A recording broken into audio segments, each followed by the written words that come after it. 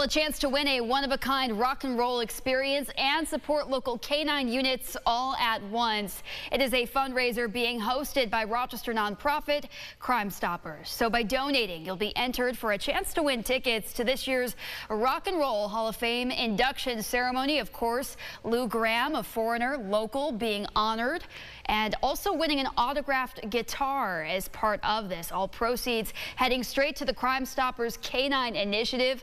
Local law enforcement saying these funds go a super long way in protecting the dogs as well as the community. Crime Stoppers also come up with large amounts of money. Uh, personally, for me, my dog was injured last year, and they uh, came up with the money for the surgery. Rochester Police Department. Uh, also, they've uh, been able to purchase equipment and have uh, emergency surgeries. These dogs go through a lot, so it's not uncommon for a dog to get injured on the job.